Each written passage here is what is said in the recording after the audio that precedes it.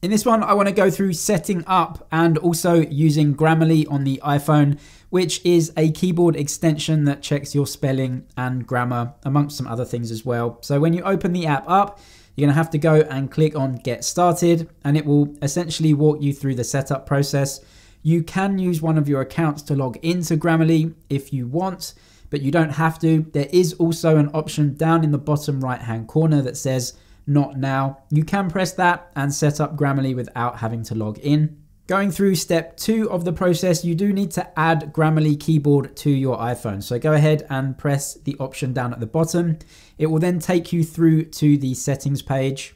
What you have to do is press the keyboards option and it will take you through to adding Grammarly. You do have to check that box green so that you allow Grammarly and you also do have to allow full access to the Grammarly keyboard as well. When you do press allow full access, a pop-up will be there basically telling you that there may be some data transfer from the keyboard to Grammarly. You do have to allow full access to use Grammarly, but it is just a warning page anyway that pretty much anything that you type on the keyboard can go back to Grammarly for them to process.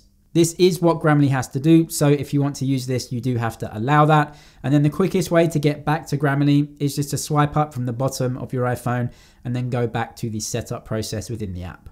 As you can see here, step three is switching to the Grammarly keyboard there should be an option down at the bottom of your keyboard that looks like a world icon. So if you just press and hold that down, then the options for your keyboard settings will come up. You can then swipe to which one that you want to use. In this case, of course, Grammarly. Once you do press and choose Grammarly, it will then switch through to the Grammarly app itself. So if I just let go and switch to Grammarly, as you can see, you're all set then you can use Grammarly in Gmail, Facebook, or Twitter, for example, as it says.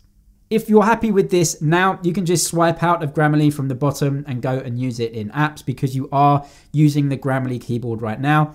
As you can see, there is an option at the bottom called Writing Insights. This will give you some insight into your writing habits. So you can turn that on if you like. So for example, if I turn it on, you may want to allow Grammarly to send you notifications or not. Maybe if you press don't allow, then those insights will be within the Grammarly app, but they won't tell you through a notification. You're all done with Grammarly, so you can swipe out of the app itself and go and use it in various other apps.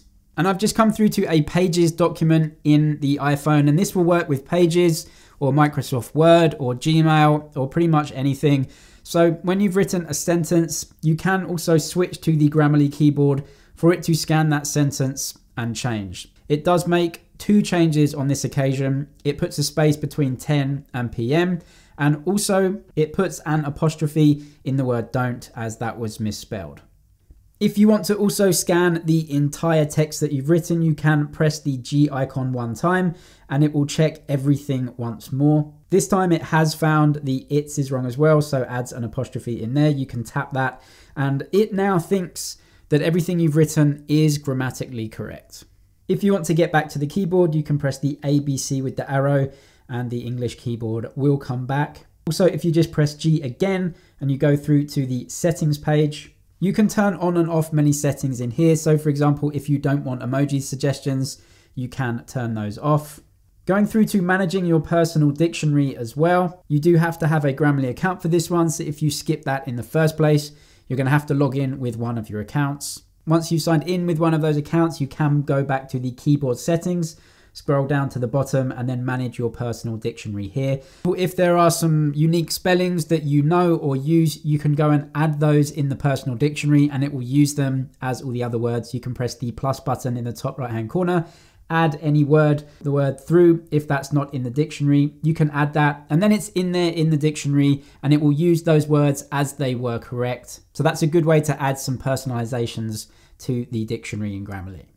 Very simple to install and use and a fairly useful keyboard overall for the free version. Hope that was helpful. If it was, please give the video a thumbs up and I'll see you in the next one.